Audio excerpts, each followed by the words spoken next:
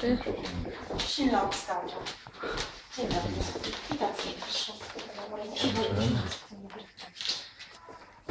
Wiesz co, ja tego... No nic, nie ci powiedzieć. Ogłoszenie orzeczenia w sprawie Waldemara Deski.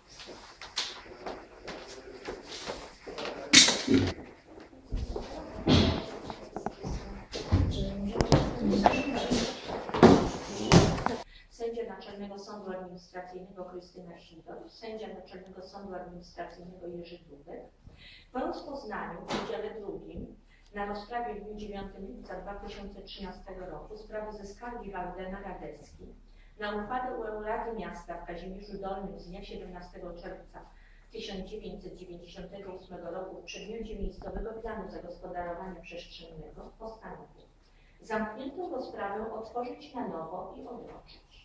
Akta przedstawić przewodniczącemu Wydziału celem podjęcia dalszych czynności.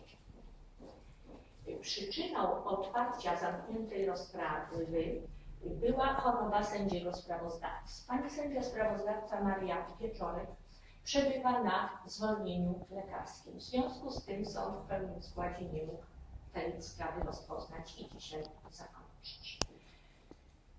Ponadto ubocznie informuję, że w dniu dzisiejszym wpłynęły za pośrednictwem poczty do sądu dwa pisma procesowe pana skarżącego Waldemara Deski, w których e, zawierają wniosek o wyłączenie sędziów tego sądu i wyznaczenie innego sądu do rozpoznania sprawy.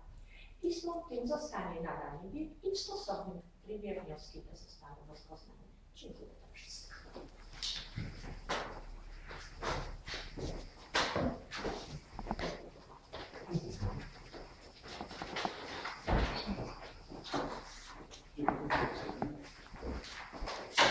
Są. Tutaj to zeszło.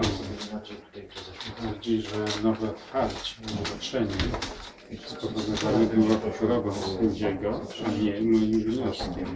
Będziemy tam może do pana. Znajomy.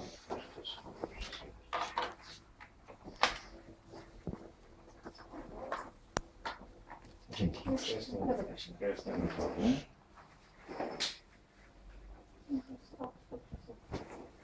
Może jakieś pytanie? Bo, no, powiem tak, bo poziom, y, że tak powiem, y, no powiem wprost, demagogii strony przeciwnej jest tak olbrzymi, że nie nadaje się do komentowania. Mhm. Chciałbym powiedzieć, że Kazimierz Dolny jest miastem o szczególnym charakterze, jest pomnikiem historii. Są decyzje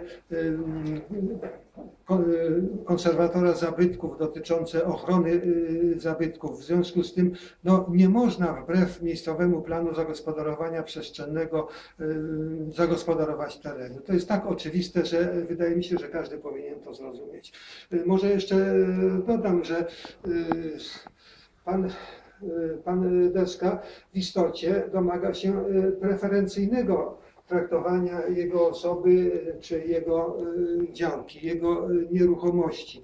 Y, Gdyby uznać, że to jest słuszne, tak jak postępuje pan Deska, należałoby uznać słuszność co najmniej kilkunastu właścicieli y, czy dysponentów nieruchomości w Kazimierzu Dolnym, którzy od lat domagają się innego zagospodarowania swoich działek niż to przewiduje miejscowy plan zagospodarowania przestrzennego. No nie można iść na skróty. Y, Czy w Polsce mogą się takie przestrzenie wolności zdarzyć, skoro w, takiej Kopenhadze, w centrum miasta, na byłych terenach wojskowych Chrystiani, można swobodnie wybudować chatę w postaci y, na przykład pojazdu UFO, czy złożoną y, z samych, y, z samych obramowań okiennych.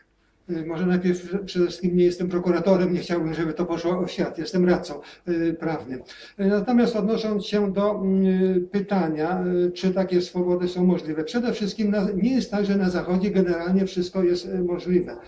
Są miejscowe plany zagospodarowania przestrzennego i miejscowy plan zagospodarowania przestrzennego może coś tak przewidzieć, określoną swobodę na określonym obszarze.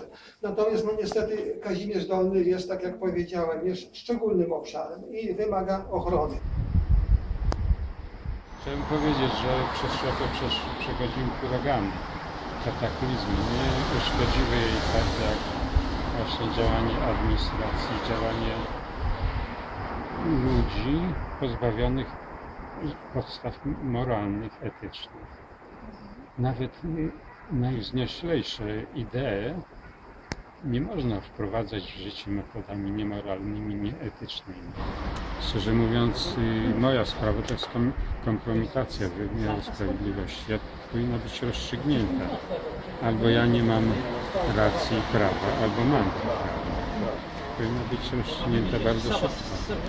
Nie może być tak, że to trwa już y, szósty czy tam ósmy rok, czy nawet dłużej. O, jest Ania.